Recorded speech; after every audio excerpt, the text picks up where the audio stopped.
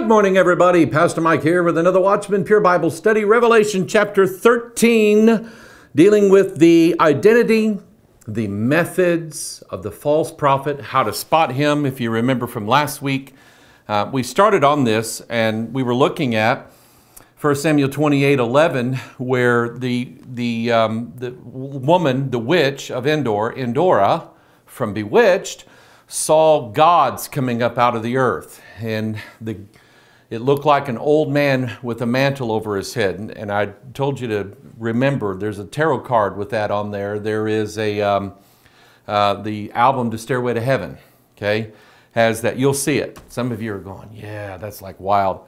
Um, he literally comes out of the earth. He is a beast. beast.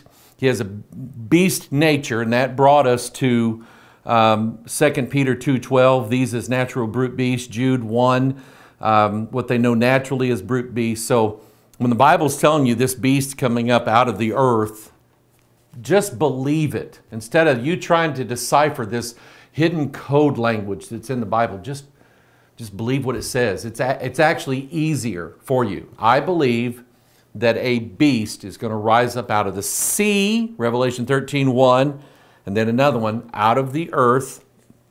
I believe these are spirits that are, that are guiding men. This spirit in particular is guiding all mankind toward receiving a mark in the right hand or forehead and making an image to the beast and worshiping it. That's, that's his goal, that's his purpose, all right? So we did a little preliminary study in 2 Peter 2 and Jude 1 to kind of show you um, what to look for here.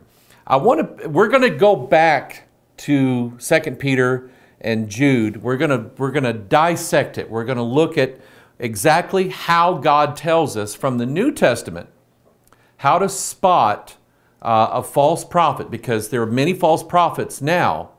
How can we know who's how can we know who's telling the truth? They say that they talked to God. How can we know that? They say they had a dream or a vision. How can we how can we even know they had a dream or a vision? Legally, I've watched court shows and things like that. Legally, one person standing here cannot testify of what's in somebody else's mind. We don't know that. We have no way of knowing that today, at least. And so, how do we know people are telling us the truth? How do we know people are lying? We have a more sure word of prophecy. We're going to go back to the Old Testament. We're going to God's going to show us how um, to spot and understand um, false prophets, how to spot them, how to know them, how to know if they're telling the truth or not. All right. Uh, we go back to Deuteronomy chapter 13. You can turn your Bible back there, read along with me. I'll be reading, I'll be using the King James throughout the rest of my life. And uh, you just follow along with me. That way, you open your Bible and you'll know that what I'm reading to you is the absolute truth. See, that's God makes it easy for us. How can I know He's telling the truth? Well, what He said contradicted the Bible, so therefore He's a liar and the Bible's right. All right? Oh, I told you last week. If you watched last week, if you want to know how a false prophet wrests Scripture, twists Scripture, Go read, and study the book of Galatians, read it all the way through, make little notes on it, key passages, and then watch a Jim Staley video on the book of Galatians. Because I guarantee, I guarantee you, when he reads to you the book of Galatians, he will try to convince you that you have to go back and keep the Old Testament law in order to be saved. All right? That's how they, they wrest scripture. Make it say what I want it to say rather than what it says. Nobody ever reading the book of Galatians by itself ever closed Galatians and said, I think I need to go be circumcised in order to be saved. Said no Christian ever. All right? So this is how to spot them. He's telling you New Testament, tell us Old Testament how to spot them. First sign of, of a false prophet. Here, and, and we see that in Revelation 13. This is what he does. Let's go, let's go after these other gods. First sign causing people to change their God. Let me explain that. The God that I believe in is the God identified verbatim in this Bible. All right? That's the God that I believe in. Every word that describes God, the Holy Spirit, and Jesus Christ from this book, that's the God that I believe in. They will try to get you to go from this God here that's in this Bible to another God that has been carved out of their imagination or a plurality of deities, plurality of, of angels, ascended masters, gods, devils, saints. I'll show you how this works here in a little bit. Let's look at it. Deuteronomy 13 1. If there arise you, uh, among you a prophet, you know what? I got I to stop right here. I got to stop right here. This is so cool. Deuteronomy 13, Acts 13, Revelation 13. What do you hear there? Do you hear what I hear? It's a 13, isn't it? 13 is the number for the love of God, the, the exact phrase, love of God 13 times, King James Bible. All right? The charity chapter, it's 1 Corinthians 13, isn't it? Okay? And um, that's God's pure love. God's love gives without an expectation of giving back. That's pure love. Don't forget that. There's harlot love, mystery, Babylon the Great, the mother of harlots and abominations of the earth. 13 words there. Harlot love says, I love you if you give me money, or I'll do for you if you pay me, or I'll love you if you love me back. That's harlot love, is what it is. A lot of, a lot of marriages, a lot of marriages are based upon unpure love. I will love you as long as you love me back or give me what I want. But if you don't, then I don't love you anymore. See how that is? Anyway, that's the number 13. That tells you what spirit is behind this. It's the spirit of mystery, Babylon the Great, the mother of harlots and abominations of the earth. All right? anyway, had to throw that in. If there arise among you a prophet or a dreamer of dreams, and giveth thee a sign or a wonder. In Revelation, I should have kept my should have kept my uh, bookmark here. Revelation 13, it says, He doeth great wonders if there arise among you a prophet or a dreamer of dreams and give thee a sign or a wonder. This prophet's going to give everybody a wonder. And it's really cool when you look at it from the Bible, what he's going to do here. Wow. Can't wait to get there, but we'll have to. Anyway, this is a match here. This is this is this mated with this. They're mated together. They say virtually the same thing. He's warning us about a false prophet who shows wonders. And here, God said, if there arise among you, they'll be in Christian churches. Now, I mentioned this last week. They'll be in pulpits, they'll be in blogs, they'll be in Christian magazines, they'll, they'll be in everything that is related to Christianity and maybe Judaism. They'll be there, all right? If there arise among you a prophet or a dreamer of dreams and giveth thee a sign or a wonder. And the sign or the wonder come to pass. Wow, how is that possible? I think that devils, I think there are devils that inspire false prophets to give a sign and the devils carry out the sign. I think that's what happens, all right? Um, how else could a, a mortal human being um, say, I'm getting a prophecy from the Lord. In less than one minute from now, there's going to be a semi truck and a Volkswagen meet head on right outside in front of the church. They're going to crash. 10 seconds later, boom, they hear it. People rush out the door, and there's a semi and a Volkswagen head on crash right in front of the church. They're going to look back at that guy and they're going, there's no way he could cause that. How did, he must he must have known that he's a, he's a seer. He's a man. He hears from God. Let's hear what else he has to say. That's how it works. Okay? The spirits tell him what to say. He says it. Whammo. The wonder comes to pass. He says, Have I got your attention now? See how it works? Men throughout history are fooled by charlatans' gimmicks, magic tricks, seances, getting in touch with Uncle Harry. Um, they fall for this stuff. They're people of simple minds. They, they want to believe in something. They just don't want to believe the Bible. But they'll, they'll believe in something else, especially if you give them a sign or a wonder. a sign or a wonder, I believe, will cause even the skeptics, even the nuclear physicist, to believe in spirits and to believe in the other world and to believe in gods and so on. So that's, that's what it happens. He said the sign of the wonder is going to come to pass just because they pretend to do miracles or really do miracles. That doesn't mean they're from God. That's what he's telling you. And the wonder come to pass, the sign of wonder come to pass, wherever he spake unto thee, saying, Let us go after other gods, which thou hast not known. Let us serve them. Plural gods. Um, think of astrology. Astrology is gods. You're following the gods, you're following stars. Um, Roman Catholicism follows after multiple gods. You have God the Father, God the Son, God the Holy Spirit, God the Virgin Mary. You have God the Saint Joseph, God the Saint Agnes, God the Saint Matthias, God the Saint Ignatius uh, de Loyola, God the Saint Mother Teresa. And, and the Catholic Church is full of signs and wonders, statues of Mary weeping, statues of Jesus with blood coming out of the hands and stuff like that. And everybody's going, Oh, that's Maria. Oh, that's, and they fall for that stuff. They fall for the signs, and that's a sign from God right there. Oh, we're supposed to fall down and worship that. A la- I kid you not. I remember seeing this as a young man. A lady on, I can't I remember, saw it on the news or something like that. She left a tortilla too long on the skillet. When she picked it up, it looked like an image of Jesus on there. So she built a shrine around it and she was charging people. People were coming from all over the place to bow to her tortilla.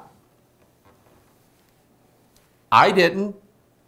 I'm not paying her a dollar, 50 cents, $2, $10. I'm not paying her. I'm not going to go and go, oh, that's Jesus right there, the tortilla. Anyway,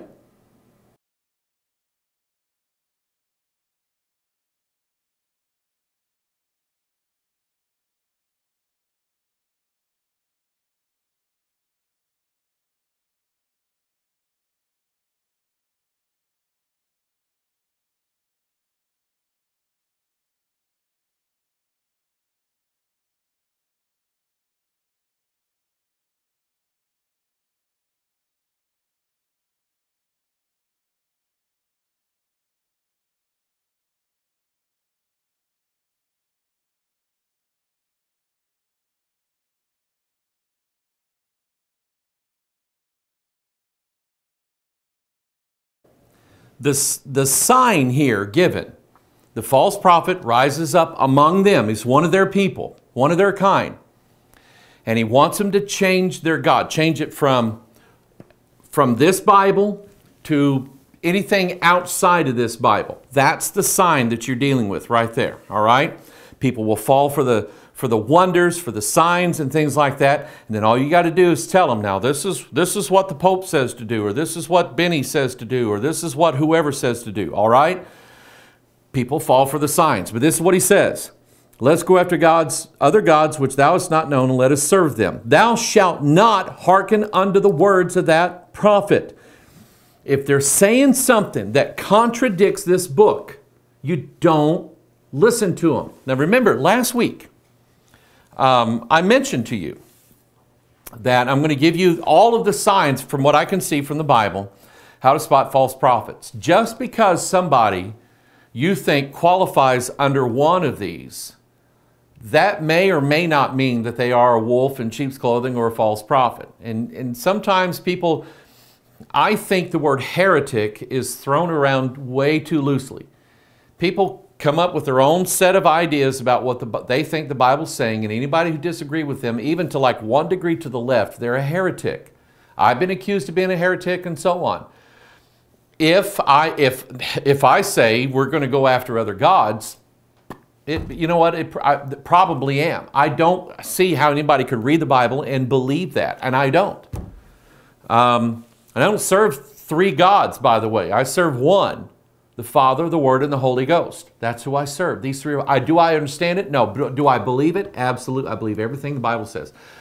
Be careful even of how people teach about the Godhead, because I don't understand it. I don't think anybody really does completely comprehends the Father, the Word, and the Holy Ghost. But I believe when Jesus came out of the water, God the Father said, This is my beloved Son, and the Holy Ghost lit on his shoulder like a dove. Obviously, there's three, and yet they are one. Hear, O Israel, the Lord our God is one Lord. So that's what I believe. So I try to limit what I say, as far as doctrine is concerned, I try to limit what I say to exactly the way the Bible says it. That way you're never wrong. All right? But obviously, here, they're going after other gods which thou hast not known. They are, it is a God, a deity, or a multiple of gods that are not the God of Abraham, Isaac, and Jacob. They're not the God whose son is Jesus Christ. This is real simple. Allah is not the same God that we worship. That's stupid. That's what makes me mad. It makes me mad to see so called church leaders stand up in front of the people that they lord over and convince them that Allah is the same God as the one we worship. That makes me angry. There's a first sign you got a wolf right there, a, a false prophet. Thou shalt not hearken unto the words of that prophet or that dreamer of dreams. Now, watch this. This is what made me sit back one day and I was reading this. I went, wow. For the Lord your God proveth you to know whether you love the Lord your God with all your heart and with all your soul. God said, I'm going to, I'm going to test you. I'm going to prove you. Why do these televangelists, why do all these false prophets, why are they so rich? Why are they so popular? Why are they why are they have why do they have the following they do? Because God sent them here to test us. To find out that God is using them. Babylon has been a golden cup in the Lord's hand. Anybody who was willing to drink from that cup, there God's got them marked. He knows who they are now. Now he's now he's separated out the sheep from the goats. That's why he uses these false prophets.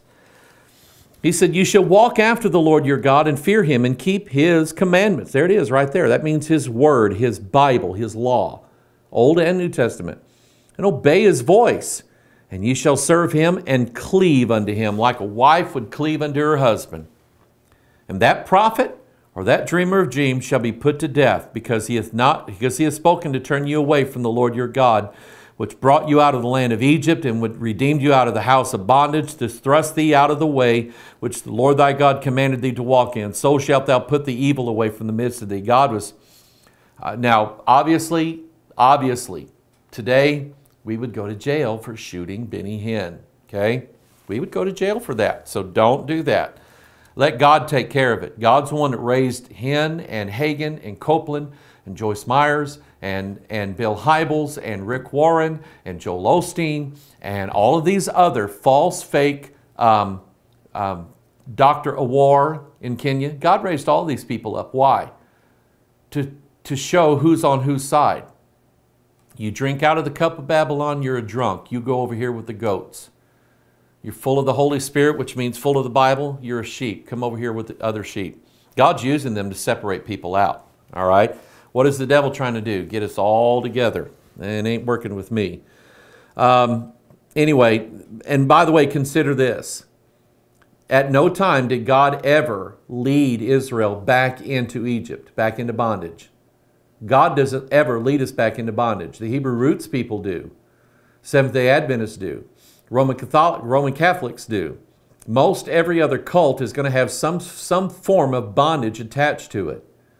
Even the word faith movement, which is always full of if you're not rich yet, you're not doing it right. If you're not rich yet, like I am, and successful like I am, if you're still sick, then obviously you're doing something wrong. It's a, that's another form of bondage. It's bondage that you're not performing well enough to meet God's standards. It's bondage. God didn't lead you into that. He brought you out of that. You beat yourself up before you came to the Lord trying to be better and you couldn't be better. So why is it that we think or we're being made to think that now that we're on God's side and we're following Christ that we still have to make ourselves better? It's bondage. Let God do it. He'll do a better job than you will anyway. So shalt thou put away the evil uh, from the midst of thee. So that's that's the first sign right there. There's many things here. Anyway, going after angels or going after saints and so on. Then we have in Deuteronomy 18, there's a couple things here that we're going to look at. God gives us in Deuteronomy 18, wow, what's way down here, isn't it? In Deuteronomy 18, um, he gives the idea of um, how to how to understand whether it's a prophet or not. And he's simply simply put, if the prophet's ever wrong, it's not a prophet. If he prophesies in advance of something and declares this is going to happen, and he does it, let's say he does it 100 times, 99 times he's right. If he's wrong one time, God said, I didn't send him. I didn't send him. See, God's in control of those devils that are making all these prophecies come to pass, and I guarantee you, God's going to make one or two of them, a couple of them, not come to pass. And then the guy will say, Well, you know, God changed his mind. God said, ah, No, that's not me. Anyway, God, God will make sure it happened. But on our way to Deuteronomy 18, I thought, I thought we should stop here. And uh, I'm going to begin to go through some of these. This is another way of spotting whether you are uh, part of in a false cult, you're in a false church, you're, um, uh, you're following a false leader, a false teacher, a false prophet of some kind. Because in Deuteronomy 18, after, you know, before God tells them, the prophet is always right, that's who you follow. He then gives them a list of forbidden practices, forbidden rituals, forbidden religious ideas that should never be amongst his people. We, I call it the list of forbidden practices. I did a Watchman broadcast years ago on this. I might revisit it again. But we're, we're going to go through them and um, we're going to look at we're going to look at how these things ended up in the church. So the first sign he'll cause you to change the God of the Bible. The God that they follow is not the God. I'm going to throw this in here. Um, I am working on a series of Watchman broadcasts called The Capstone. Capstone is that all seeing eye on the back of the dollar bill over the pyramid. Everybody knows who that is. That's the Antichrist, that's his eye, that's the idol shepherd whose right eye has been put out. That's very clear to me. Nowhere in my King James Bible does it ever refer to Christ as the capstone. Never, never, never, never. It doesn't even, doesn't even hint at it. He is specifically mentioned as the cornerstone of the foundation. That's on the bottom, not on the top.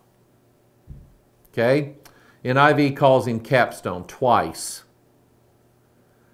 So do some other people who follow after wrong doctrine that's not biblical and teachers who will try to convince you that the pyramid is a good sign and that Christ is the capstone on top of that pyramid.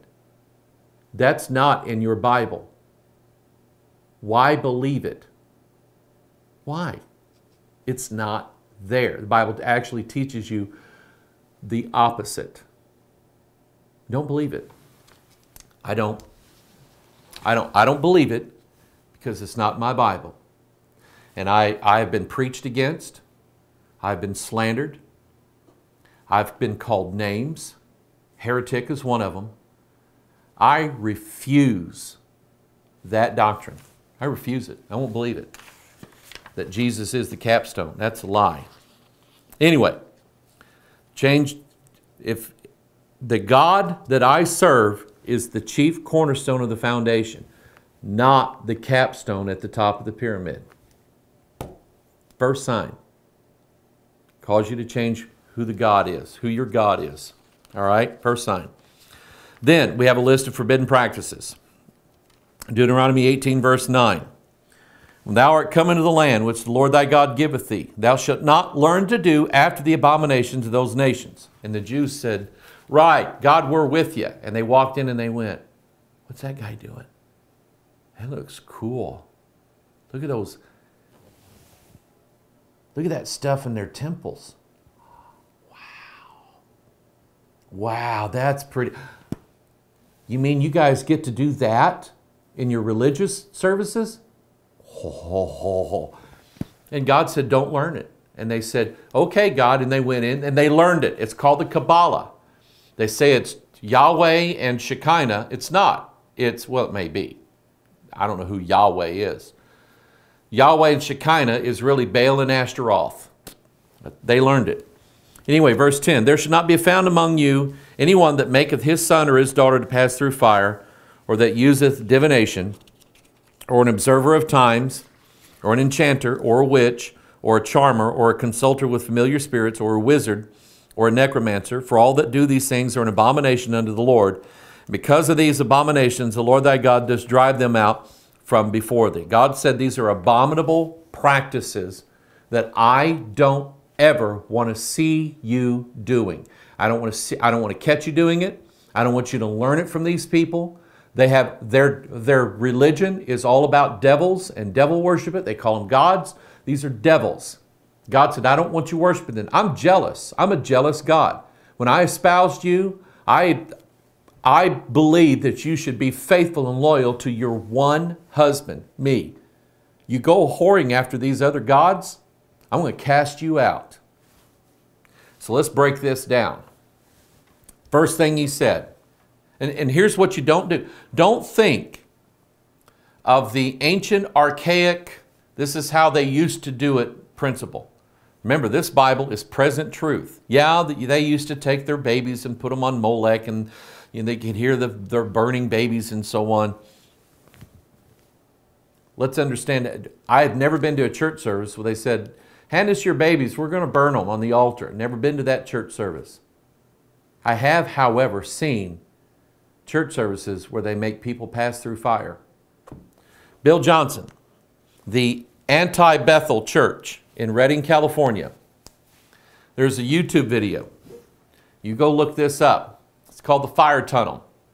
In Bill Johnson's church, they have everybody, have all these people in line, two lines, and they're making this tunnel and the people will pass through. They call it the fire tunnel. They're passing through the fire to get to the other side. This is a ritual that, that God told them to perform. Where?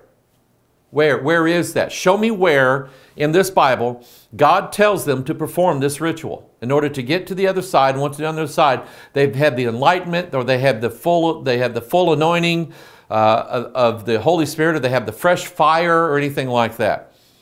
Watch these things. Watch for the rituals.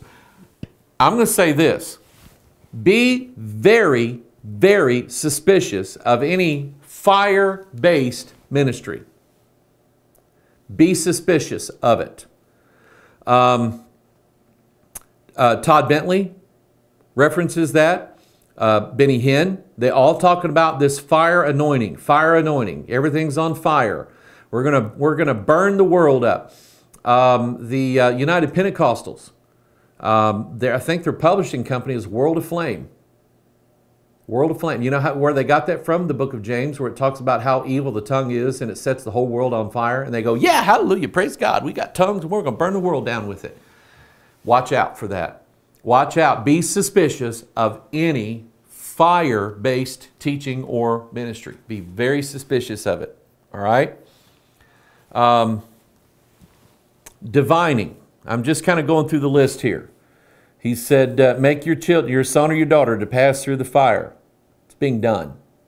Being done. In a ritualistic, symbolic way, it's being done. I wouldn't do it if I were you. All right? Number two, that useth divination. Divination is trying to discern a, a sign from God using like nature signs. Uh, there are those that always point out certain signs everywhere, and then they give a false meaning. Okay?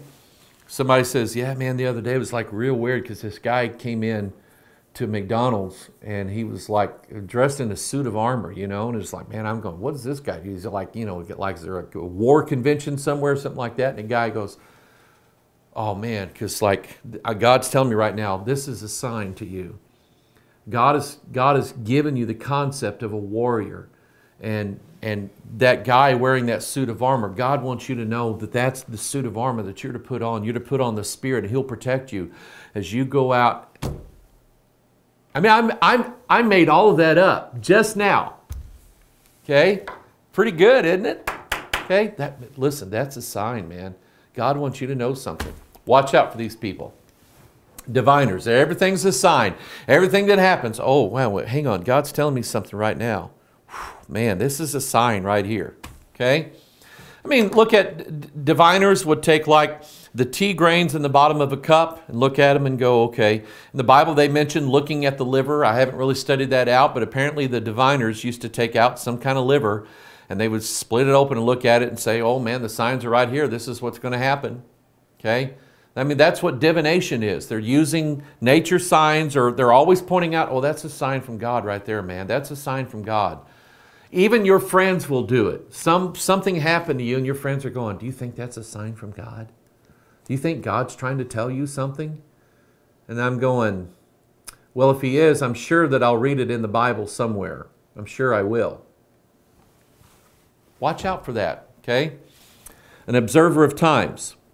You ready? Fixing to get, I'm fixing to open up a great big can of worms and a can of King James, okay? Fresh can King James Bible on those who observe times. I'm going to quote scripture to you. I'm going to quote scripture. Galatians chapter 4. In Galatians, Paul dealt specifically with those who went after the law. And in Galatians chapter 4, verse 9, Paul says, But now, after that ye have known God, or rather are known of God, how turn ye again to the weak and beggarly elements, whereunto ye desire again to be in bondage? Ye observe days and months and times and years. Paul said that those who observe times are in bondage. Jim Staley, he said it. His statement was, I just believe that when we observe times on Yahweh's calendar, that a portal is opened up between us and heaven. You know, he's setting everybody up to believe? He's setting everybody up to believe that if they go and perform or pretend in their minds that they're performing the Old Testament feast days, that they will be actually have a closer connection between them and God and those other Sunday worshiping people who don't do it. The pagan, Roman, Greek, paganized King James Bible believers. They don't have this neat thing with God.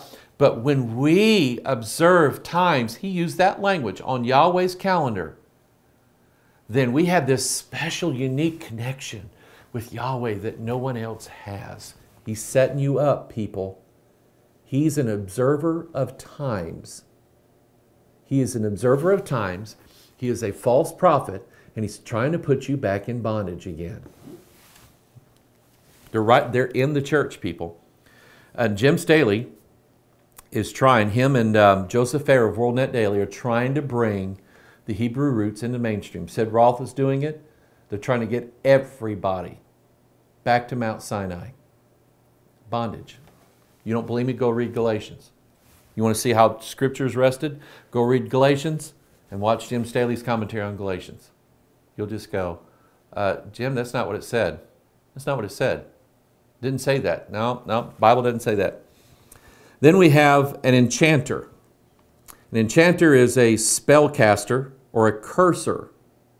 Not someone who says, blankety, blanket, blanket, blank, I'm blanking out of time, blankety blank. Not somebody like that.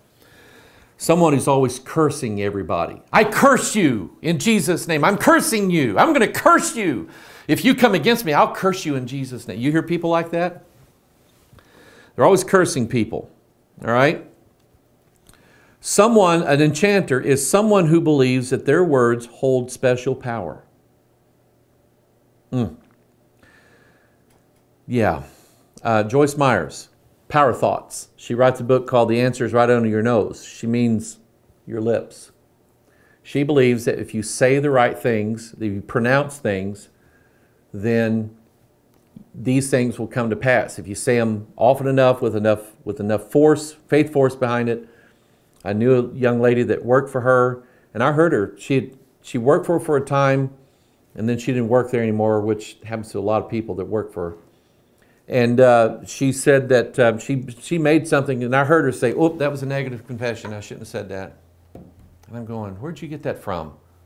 That's that's like casting spells. You think like your words will have the impact that you say. Like if I say, "Man, I tell you what, I laughed so hard I about died." oh, that was a negative confession. I just took 10 years off my life. These people actually believe that nonsense. That's an enchanter. Okay? They actually believe that their words hold special power.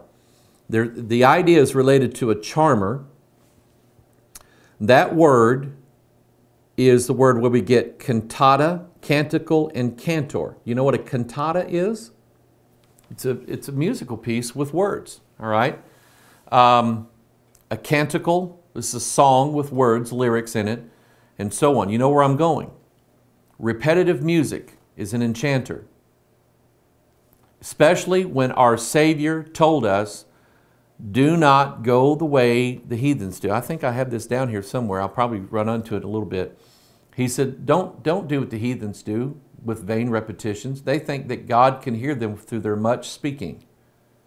And you'll hear this. You'll hear the repetitive nature of those who are chanters in the church who are trying to convince you that you need to say it over and over again. A friend of mine who was, um, he met the Lord in a United Pentecostal church.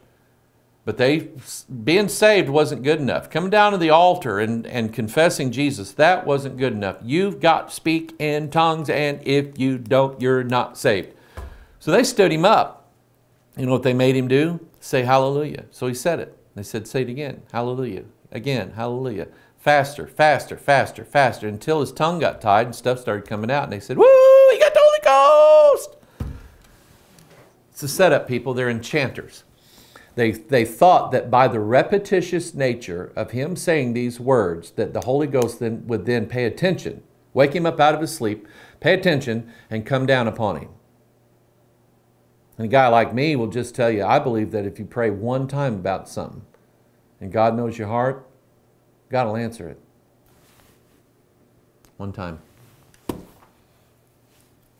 I've done it before prayed about something one time, forget about it, all of a sudden God did it, God reminded me. I went, God, you're good to me. Watch out for enchanters. Repetitive music and lyrics. Gregorian chants. Roman Catholic Church, monasteries are based upon repetitive chants that they think brings in God. Vain repetitions. Here it is, Matthew 6, 7. But when you pray, use not vain repetitions as the heathen do, for they think that they shall be heard for their much speaking. In the church are enchanters, either by word or by lyric or by song. They are enchanters. They believe that repetitiveness, uh, saying it over and over and over and over and over again, will then bring down the power of God or the stillness of God or whatever it is. Watch out, it's a setup. Contemplative prayer is based upon enchanters. You become the enchanter in that you repeat the Lectio Divina, the divine lectionary or the divine word. You, they, they tell you that if you repeat it over and over and over without any thought whatsoever, that pretty soon you'll be talking directly to God without the mediator, Jesus Christ. It's an abomination, people, and it's in the church. All right? Uh, more information on that. Lighthouse Trails Research. They devote in their entire ministry to uncovering contemplative prayer inside of the church. This is something you look for. I talked to a lady one time, she called several years ago. And she was telling me about what was going on in church. They took out the church pews. They were, um, you know, putting the sermons up on the wall. Nobody brought their Bibles anymore. All this stuff. And I said, and I and I told her, I said, this is, let me, I said, let me tell you this. I said, your pastor is going to start talking about a building program, lock you in about a five to ten million dollar debt. And she said, yeah, he's, he's done that. And I said, then he's going to start introducing to you a prayer practice whereby you chant, repeat over and over and over until you go into a trance and you're going to communicate directly with God. And she said, he talked about that last Sunday. I said, get out. That man's hearing from a familiar spirit. He's not hearing from God. He's hearing from a familiar spirit. If he wants to hear from God, let him read the Bible. But anyway, that's what an enchanter is. Let me, um, let me, let me cover one more, and then we'll, we'll um, we'll hold off on the rest of this because I got a lot to give you on just Deuteronomy 18, all right? And I want us to understand the false prophet isn't just one set of rules or one set of principles. They come in multiple ways, every way. When they say all roads lead to the same God, that is partially true. All other roads lead to the same God, but there is only one path to the real God, and that is Jesus Christ. Period. The end. So let me deal with this. All right. He told him, he said, um, not to make your son or daughter pass through the fire, use divination, or observer of times, or an enchanter, or a witch. All right. He said that in verse 10. A witch in the church, let me tell you what it looks like. It looks like female domination, female dominion. That's what it looks like. It's a woman behind the pulpit. That's all you need to know. You can stop right there and say, Nope, sorry, I'm not going to church here. I don't, don't send me your tapes. I'm not going to listen to your YouTube uh, videos. I'm not going to listen to you. You're clearly wrong. I'm out. We've got a guy in our church that took 1 Corinthians 14 to his Assembly of God pastor, and he said, Pastor, you've got women up there preaching. You got women speaking tongues all over the church. He didn't have a mean spirit. I mean, I know the guy. He said, What about what it says in 1 Corinthians 14 in the direct connotation of speaking in tongues in the church? Let the women keep silent, for it is not permitted, permitted unto them to speak. Pastor said, That's not for us. Did you catch it? The Bible said it. He took it out, set it aside, and said, See, now it's gone. It's gone. See, it's not there anymore. he took it out of the Bible. I, I'm not the man's judge. I can't do that my conscience, if I said, now this, this next part here in verse 10 where it talks about witch, don't worry about that. That's not for us. Don't, don't believe that. Don't have to worry about that. I can't do that. That's what it says. Female dominion. So any church pastored by a woman solely or a man and wife as pastors, that's a witch. Mark it down. You know how I know? She's blatantly, him and her both are blatantly disobeying and disregarding the pastoral qualifications for a bishop and the rules for church service, where the woman is not permitted to speak. She's not to usurp authority over the man. Beth Moore is a witch. Joyce Myers is a witch. Under that clause, they're witches. All right? Female dominion. You say, well, I need more. They will use elemental magic. They will use magic. They will cast spells. They will say that your words, just like an enchanter, your words can produce the things that you want if you say them the right way. They use spell casting. And I mentioned elemental magic. That is invoking earth, air, fire, and water. There's actually churches called element churches. There are actually Sunday school literatures called elements, elements worship for kids. Free Will Baptist puts that out. It ain't right. They, where did they get that from? They didn't get it from the Bible. If, if anything, if anything, the word elements in the King James Bible is weak and beggarly elements. Why should we have anything to do with it? But then they'll talk about north, south, east, and west. We're going to point to the gods that are over here, over here, over here, and over here.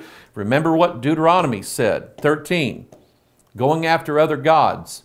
The four elements are four different, unique spiritual entities or gods that must be invoked together to perform the magic while you're inside the magic circle. Honi the circle drawer. Um, Mark um, uh, uh, Batterson, uh, I think is his name, writing this book about drawing circles everywhere. That's elemental witchcraft, is what it is. Um, elemental magic, spell casting using certain words that, quote, invoke a power. God's not invoked, He is provoked. But he is, you don't say words that get God's attention. Okay? You know what gets God's attention? Broken and contrite heart. Not saying magic words. A lot of church services, a lot of uh, what I call um, liturgical church services begin with an invocation. We beseech thee, O Lord, and they're reading the prayer, and that's supposed to get, okay, God, God, you can go now. They said the words uh, that invoke a power, uh, power words, positive thinking, etc. Let me, let me dispel that doctrine with two verses. Let me kick that doctrine right out the door with two verses. The idea that you must say the right words or God will not give you what you ask for, or you must think it, you must say it, and release it, or God won't do it for you. Let me show you two verses that kick that doctrine out the door. Romans 8 26. Likewise, the Spirit also helpeth our infirmities, for we know not what we should pray for as we ought. We don't know what to pray for.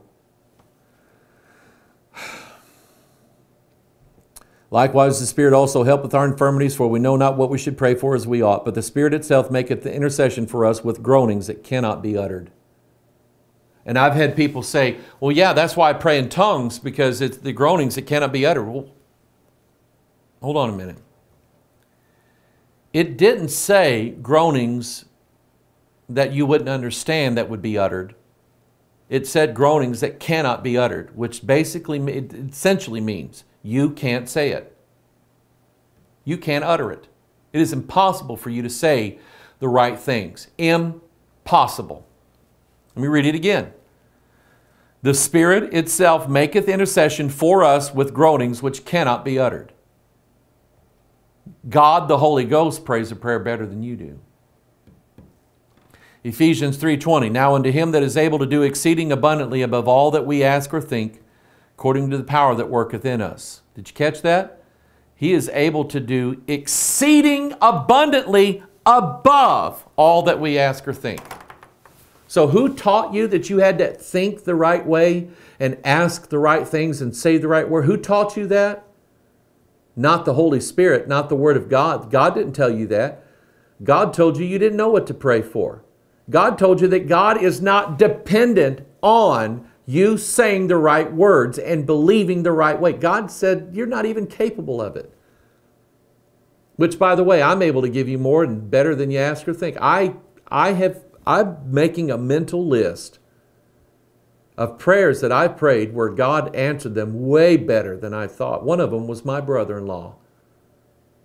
I prayed for him to be saved, and I had it in my mind that I'd be sitting on his deathbed as he's drawing his last breath saying, Steve, please, I want to hear you pray to the Lord. That's how I had it figured. God, pray, God did it better than that. God brought him up to us. He lost his wife, he lost his home, he lost it. He had nothing. He didn't even have good health.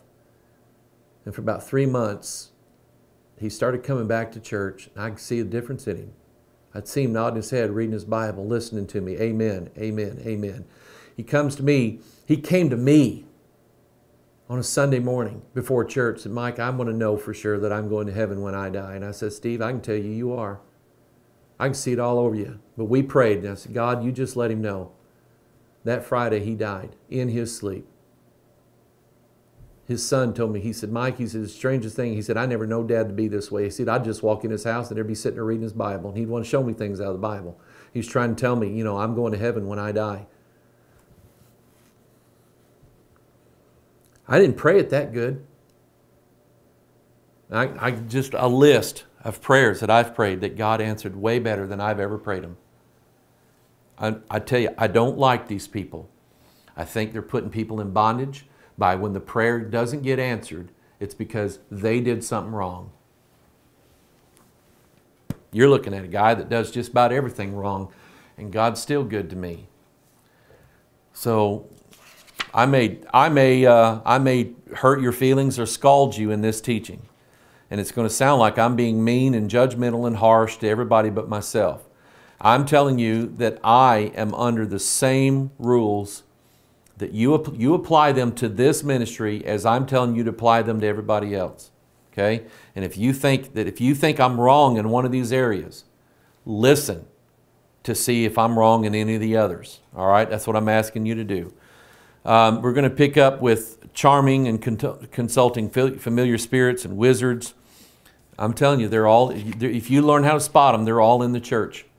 God already told us what to look for. We just didn't look. All right? I love you. It's good to be with you. Appreciate your prayers for us. And um, you keep praying for us and pray that I don't ever fall under any of these categories. All right? God bless you. We'll see you next time. Bye bye.